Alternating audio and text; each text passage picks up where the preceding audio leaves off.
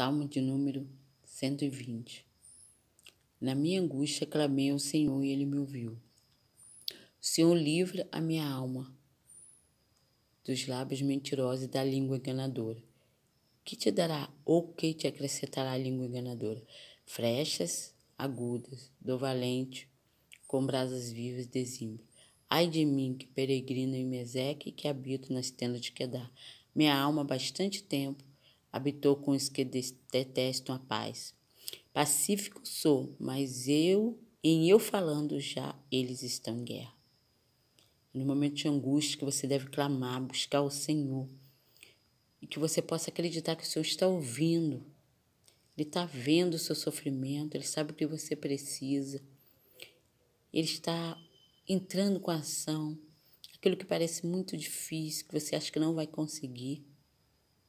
Continua clamando, buscando esse Deus. Que é nesse momento que ele entra com providência. Se você crê, a providência está chegando na sua vida para a honra e glória do nome do Senhor.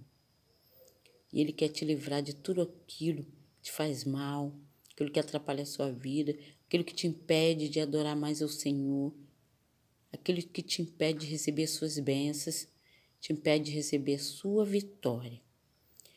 Cria somente você vai ver a glória de Deus na sua vida.